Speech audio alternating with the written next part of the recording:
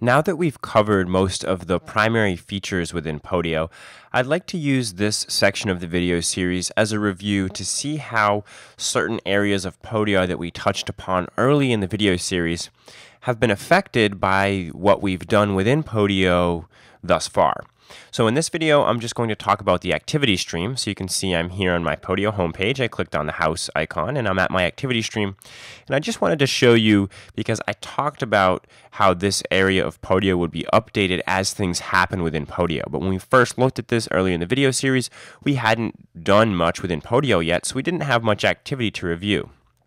So now we can go ahead and we can take a look at some of the activity that's happened.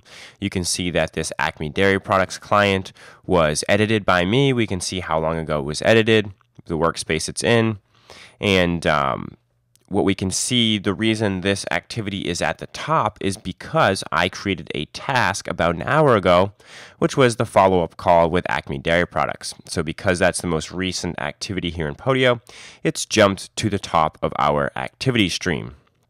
We can also see that I edited the ABC project 15 days ago. I updated the projects app as a whole. That was when we were working on creating custom apps here in Podio.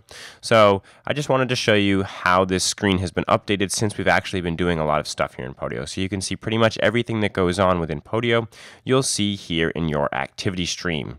Stay tuned for the next video in the series where we talk about the calendar section of Podio and how it has changed since we've started working here in Podio.